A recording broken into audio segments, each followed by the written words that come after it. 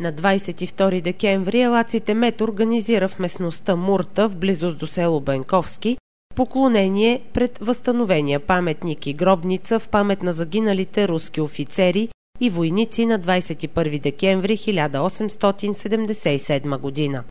На събитието присъстваха кметът на община Златица, общински съветници, кметските наместници на село Бенковски и село Петрич, представители на Елаците Мет, бригадата към дружеството извършила възстановителните работи, жители на околните села Медии.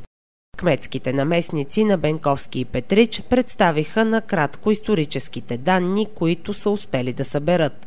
На тази дата и на това място, според местните исторически сведения, началникът на Трета гвардейска пехотна дивизия генерал-лейтенант Василий Василиевич Каталей е получил заповед от генерал-адютант Гурко да пресече пътя за отстъпление на отряд от армията на Мехмет Али Паша към местното село Петрич. Генерал Каталей и командващия първа бригада Димитрий Алексеевич Философов застават начало на колоната, която заема с бой първия гребен на височината Мурта и образува вход в окопите на противника. По някои стари известия, паметникът е бил издигнат след освобождението, а на това място са положени костите на 28 офицери и войници, закинали геройски за освобождението на този край.